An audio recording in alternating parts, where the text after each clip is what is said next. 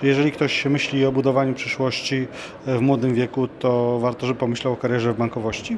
Ja myślę, że jak jest się młodym, to nie należy myśleć takimi kategoriami właśnie, że zrobię karierę, zostanę prezesem, bo ja też nigdy w taki sposób nie myślałem. Najważniejsze, żeby robić ciekawe rzeczy. Jak robimy ciekawe rzeczy, uczymy się, rozwijamy, prawda? Jest to coś, co nas pochłania, to zaczniemy być w tym dobrzy, prawda? Jak jesteśmy dobrzy, to zaczynają nam za to płacić. Jak jesteśmy bardzo dobrzy, to płacą nam bardzo dobrze. A jak e, płaci Państwa bank e, młodym ludziom na starcie? E, Gdzie można starać się o staże, w jakich działach, w jakich obszarach? My jesteśmy bankiem ogólnopolskim, w związku z tym nasza oferta staży, praktyk dla studentów, absolwentów uczelni jest e, bardzo szeroka, poczynając od pracy w oddziale, po praktyki w e, różnych e, obszarach naszej centrali, jak również e, za granicą. Otwarliśmy oddział PKO Banku Polskiego we Frankfurcie, prawda? Mamy mały bank na Ukrainie w Lwowie. Jesteśmy otwarci na ciekawych e, ludzi, którzy mogą e, e, wesprzeć PKO Bank Polski w rozwoju, a my możemy im za to dobrze zapłacić. Co to znaczy dobrze zapłacić? Dobrze Ile się zap- zapra- Dobrze zapłacić, to jeżeli chodzi o e, praktyki i staże, no to płacimy na poziomie e, tych wymagań ustawowych w Polsce.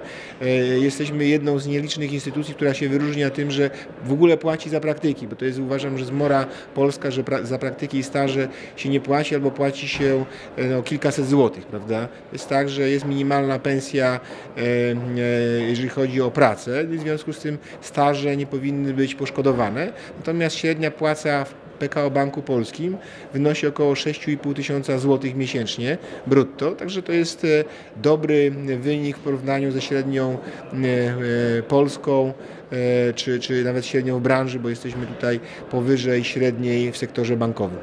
A czy czekają nas zwolnienia w branży bankowej w Polsce? Jest tak, że od dłuższego czasu e, e, w sektorze bankowym e, zmniejsza się liczba ludzi, prawda, którzy pracują. To jest związane z dwoma czy trzema tendencjami. Pierwsza rzecz to jest kwestia taka, że banki się łączą, w związku z tym potrzeba mniej ludzi do pracy w back office, w centrali, czasami się dublują oddziały, prawda? To jest jedna tendencja, która jest od czasów tak zwanych postkryzysowych.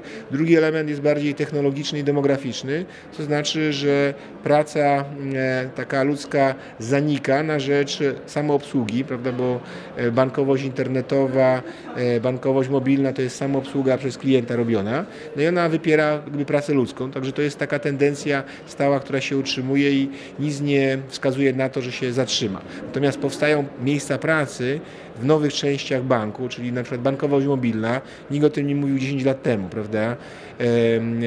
Płatności bezpośrednie z wykorzystaniem różnego rodzaju aplikacji, no tam też e, 10 lat temu nikt o tym nie myślał, że coś takiego jest możliwe, a w tej chwili no, muszą się uczyć tego albo ci, którzy mm, pracują już w banku, albo nowi, którzy przychodzą i mówią, znam to powiedzmy od e, 10 lat, e, jestem bardzo dobrym e, użytkownikiem różnego rodzaju aplikacji mobilnych i chętnie tą swoją umiejętność sprzedam pracując w banku. Z Państwa punktu widzenia, jakie kwalifikacje powinien mieć, jakie kompetencje powinien mieć kandydat, który przychodzi do pracy w bankowości? Najważniejsza jest umiejętność szybkiego się uczenia i samodyscyplina, prawda? To jest tak, że jeżeli uczę się, bo świat się zmienia i ta wiedza, która była użyteczna 10-15 lat temu, e, no już jest e, zdezaktualizowana.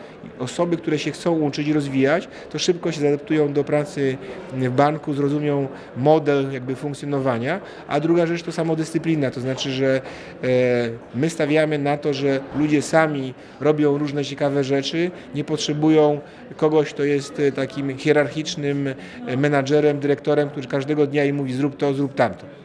Czy praca w bankowości jest stabilna, czy mitem jest e, właśnie pogłoski o tym, że jest duża rotacja pracowników bankowości? Wydaje mi się, że rotacja, nie znam jakby statystyk dotyczących rotacji w innych branżach, natomiast ta rotacja e, jest, jest chyba około 10-12%. E, tak mniej więcej to wygląda. Natomiast ona raczej jest związana z e, tym, że przychodzi młody człowiek i ma pewnego rodzaju wyobrażenia o tym, e, jak wygląda ta praca i konfrontuje to, że jest to inaczej. I wówczas zmienia to miejsce pracy, idzie do innej branży, bo widzimy, że większe rotacje są w przypadku młodych pracowników, którzy wchodzą na rynek pracy, no i ich wyobrażenia mijają się z tym w zderzeniu z rzeczywistością. E, a jak będzie wyglądała praca w bankowości w przyszłości, Pana zdaniem? W przyszłości jakiej? No, dającej się ogarnąć e, e, karierą zawodową obecnych na przykład maturzystów. Nie no, jeżeli popatrzymy w perspektywie kilku lat, no to ja nie oczekuję tutaj żadnej powiedzmy rewolucji, że nagle coś się stanie. Natomiast z perspektywy lat 20, 30, 40, no to będzie kompletnie inna bankowość niż jest obecnie. Tak samo gdy popatrzymy dzisiaj z perspektywy roku 2015 kończącego się, jak wyglądała bankowość w XX wieku na koniec, prawda? No to e, każdy oddział miał własny system księgowy e, i tak tak. W tej chwili jest tak, że oddziały są z elektryfikowane, to znaczy, że internet, e, dostęp do systemu centralnego wyeliminował wszystkie elementy back-office'owe na poziomie oddziału, e, księgowych na poziomie oddziału, a w ogóle jest tak, że, że w końcówce lat ubiegłego wieku nikt nie myślał o tym, że ludzie będą bankowali przez telefon, prawda? Bo telefon komórkowy dopiero wchodził.